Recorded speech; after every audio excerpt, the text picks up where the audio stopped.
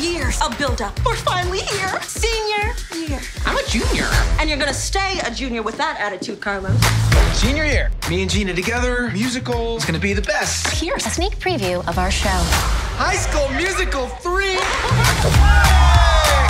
Many of you know me as Coach Bolton from the High School Musical franchise. Folks, we're getting the whole gang back together to make High School Musical 4 right here in East High.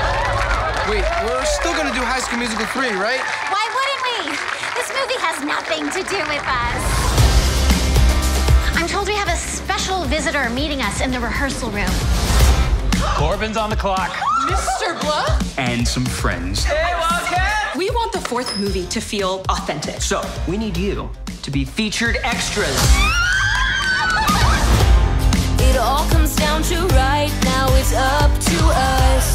Hear everyone's opinion about us. So, what if we kind of stayed a secret?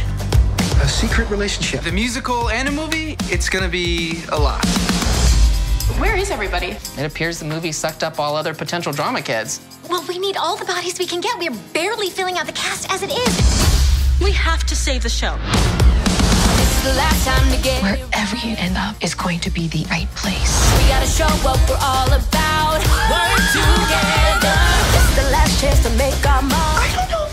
For this. You're a star. Action. Oh, or never.